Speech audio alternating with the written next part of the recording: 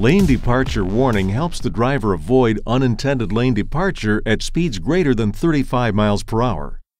It uses a camera mounted near the inside rearview mirror to identify traffic lane markings and to provide an alert, and to help give the driver time to take corrective action. The system displays a visible status indicator.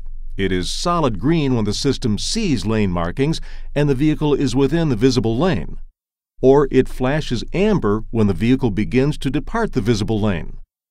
The driver may choose one of two alert methods for an additional warning. The factory default is a gentle and discreet vibration of the safety alert seat. Or the driver may select an audible alert through the vehicle's speakers.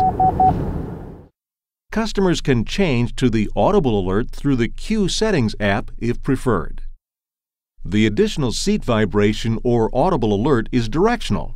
It comes from the same side of the vehicle where a potential hazard is identified.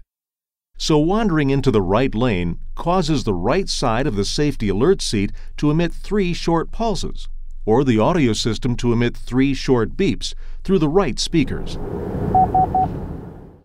To disable the system, press the lane departure warning button. The notification light on the button turns off to acknowledge that the system is disabled. If the system is disabled, it remains off until the button is pushed to turn it on again. It will not automatically reset to on at vehicle restart. Lane departure warning works like human eyes. If eyes can't see lane markings, chances